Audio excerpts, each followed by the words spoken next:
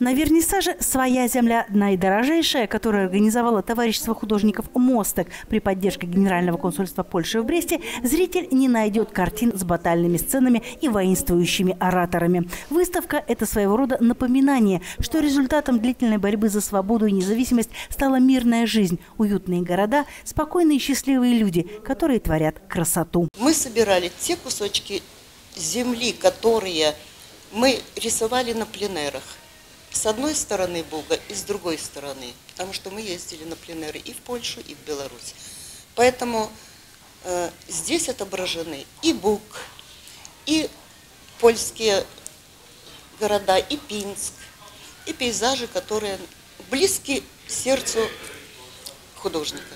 Все девять членов Мостока – художники, известные не только в Беларуси, но и в Польше. Для нынешнего вернисажа картины, а их на выставке 30, сделаны во время пленеров по обе стороны Буга. Брестские мастера кисти – частые гости в Польше. Мы как бы соединяем две части, да, две части э, двух стран. Вот. И на территории Польши живут белорусы, на территории Беларуси живут поляки.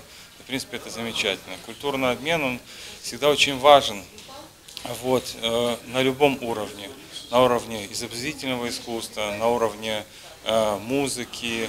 И это дает взаимообогащение и это очень важно. Девять лет товарищества «Мосток», а с польского слова переводится как «мост», налаживает творческие связи между художниками двух стран, двух приграничных территорий. За эти годы общество художников действительно стало мостиком, соединяющим два народа – наши культуры, прошлое и будущее. Как отметила польская сторона, выставка – настоящий подарок для всех поляков ко Дню независимости. Они сделали, э, но, конечно, не только э, небольшой мосток, который единает эти страны э, великой реки, Бук, но мне кажется, они сделали э, гораздо больше.